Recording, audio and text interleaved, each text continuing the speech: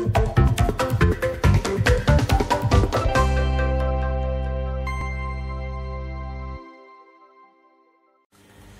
chào, tôi là dược sĩ Trang Nguyễn và đã rất vui khi trở lại cùng tất cả các bạn trong chuyên mục làm đẹp ngày hôm nay.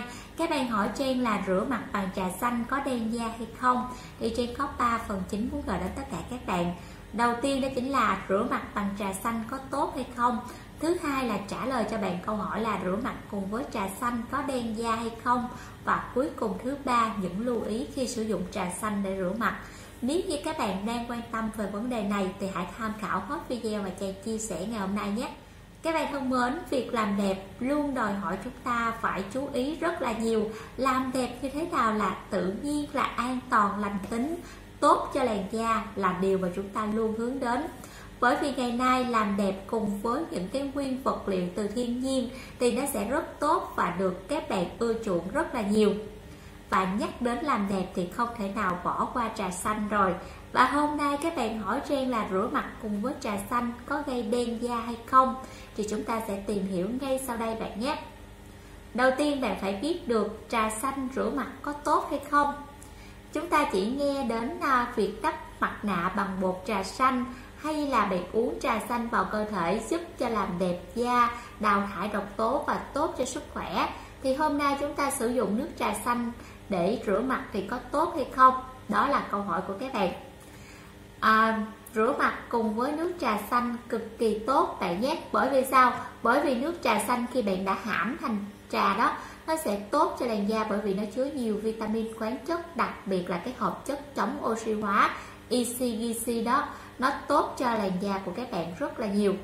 Như vậy các bạn đã biết được rửa mặt cùng với nước trà xanh cực kỳ tốt. Ngoài ra nó còn giúp cho da của chúng ta kháng viêm, kháng khuẩn Làm trắng sáng làn da và mang đến cái hiệu quả chăm sóc và ngừa mụn cực kỳ tốt. Phần thứ hai, rửa mặt cùng với nước trà xanh có đen da hay không? Các bạn lo lắng là rửa mặt cùng với trà xanh sẽ bị bắt nắng, bị đen da và các bạn sợ rằng cái chất caffeine có trong trà trà xanh đó, nó cũng ảnh hưởng đến làn da của mình. Nhưng không bạn nhé, cái hợp chất catechin có trong trà xanh, nó sẽ tạo thành một cái lớp màng để bảo vệ làn da của chúng ta khỏi tia UV gây hại. Nhưng không phải là chất chống nắng, thay cho kem chống nắng đâu. Các bạn cần phải thoa kem chống nắng khi đi ra đường, đặc biệt là trời nắng nóng như thế này rồi như vậy câu trả lời cho tất cả các bạn là rửa mặt cùng với nước trà xanh không gây đen da Phần thứ ba những lưu ý khi sử dụng nước trà xanh để rửa mặt. Trà xanh bạn mua về sau đó bạn rửa sạch, có thể ngâm qua nước muối, sau đó chúng ta vo cho nó nét ra và bạn bỏ vào bạn để hãm trà. Khi nước trà đó ra thì bạn sẽ chắc lấy và bạn à, đợi cho nó hơi nguội nguội ấm ấm đó. Hơi ấm ấm thì bạn rửa mặt nó sẽ tốt hơn. Và nhớ là chúng ta sẽ tẩy trang, sử dụng sữa rửa mặt, tẩy tế bào chết đi. Sau đó bạn dùng nước trà xanh để rửa mặt lại, để làm sạch da mặt một lần nữa. Cũng như những dưỡng chất từ nước trà xanh sẽ thấm sâu vào bên trong da hơn. Hoặc đơn giản hơn nữa, bạn có thể nấu nước trà xanh để tắm thì nó sẽ kháng viêm kháng khuẩn và làm trắng sáng làn da cho toàn thân luôn. Thì nó rất là tốt và nhớ là chúng ta không sử dụng nước trà để qua đêm. Nếu như bạn để bên ngoài, bạn có thể bảo quản vào ngăn mát tủ lạnh.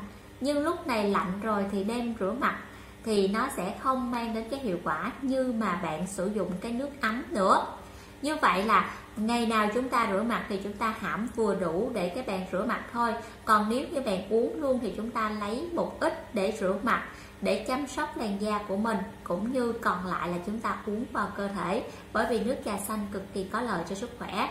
Như vậy là các bạn đã biết được cách làm đẹp cùng với nước trà xanh rồi bạn nhé. Đặc biệt là các bạn đã có được câu trả lời cho mình. Rửa mặt cùng với nước trà xanh không gây đen da và nếu như bạn thấy video ngày hôm nay có ích cho bạn thì đừng quên để lại một like cho Trang nhé Đừng quên bấm nút đăng ký theo dõi kênh của Trang và nhớ là bật chuông thông báo để nhận được những video sớm nhất từ Trang và một trong những địa chỉ website chính thức quen thuộc của Trang bạn có thể lên Google tìm kiếm chính là nguyễn thị thị trang.com hoặc là dược sĩ Trang Nguyễn hoặc là dược sĩ Thùy Trang. Xin chào và hẹn gặp lại tất cả các bạn ở những video tiếp theo.